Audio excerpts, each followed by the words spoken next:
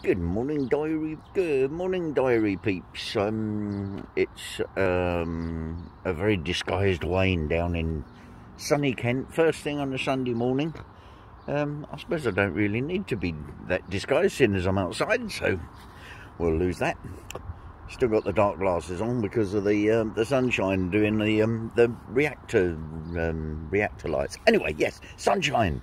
Um, after what seems to have been many days worth of archetype level rain.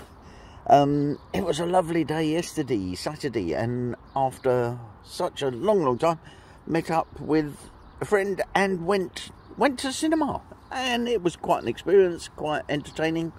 Um, wonderful film. Went on a Saturday morning deliberately because going in the morning on a Saturday seems to be when most of the the, the, the, the kids sort of go, and um, you know, and and went to see Peter Rabbit too, and of course it was made even more of an occasion by all the squealing kids and the laughing and the questioning, and um, oh yeah, it was a it was a, a, a brilliant time and such a lovely, lovely. Um, lovely experience to, to be out and and the occasion of going to the cinema.